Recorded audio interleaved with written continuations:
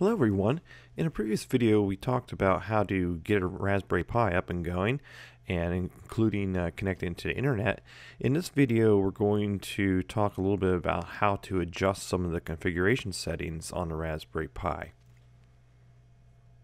Here I'm logged into my Raspberry Pi uh, remotely. I'll show you how to do that in a future video. Uh, but for right now, uh, this command prompt it uh, will look the same uh, if you're you're using your Raspberry Pi directly, like I showed in the uh, getting started video. So the first thing we're, we're going to want to do to access our configuration settings is we'll type in sudo, and it's raspi dash config, just like that, and hit enter. Uh, and this will uh, this might look slightly different, but the menu will be the same uh, if you're accessing it directly. And uh, one of the first things we'll do here is we'll go down to option four here to inter, inter, internationalization options and hit enter. Um, you you may want to change your locale uh, depending on uh, on where you're at. You hit enter there, and it'll come up and just use the arrow keys to go down through these uh, and it's going to be EN for English. And you can see it's uh, GB I'm guessing that's a Great Britain um, uh, we want EN US and we'll use the UTF 8 and so that's that's the option we want. And we'll hit enter right there.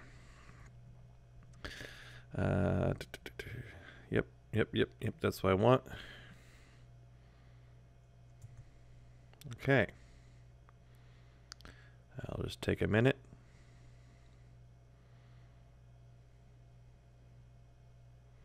Okay, and uh, next we will go ahead and we'll change our time zone.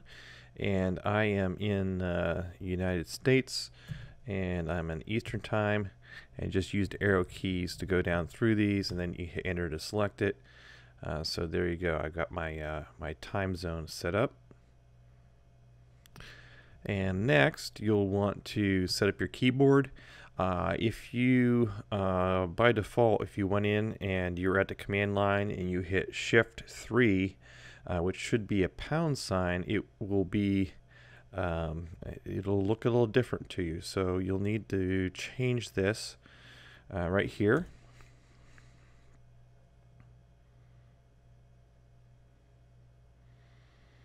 And we'll go to 104, uh, generic 104 key PC. And we will hit other here. And it's going to be uh, English US. And so now we have English US up here. And we'll hit that. And uh, it's fine. Just I just select. I just go with the defaults for the rest of these. And that's uh, setting up my keyboard, and now that's all set.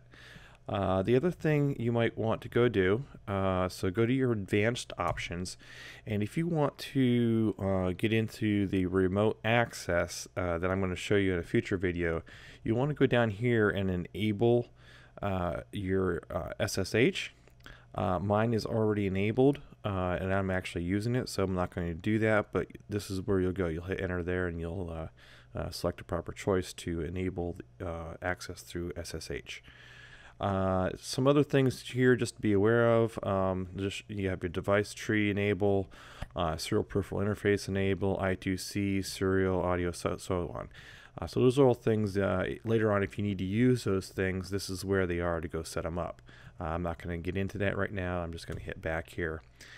And uh, that is about it for the configuration. Uh, I can go back here and hit finish now. And I'm back to my command line. Uh, so now that's how you adjust your, your basic configuration settings on a Raspberry Pi. Uh, I hope you liked this video. please subscribe, like it if you like it, share it and we'll talk again real soon. Uh, I think in the next one we'll talk about how to actually access through SSH. So uh, check back real soon. Thanks a lot. Bye.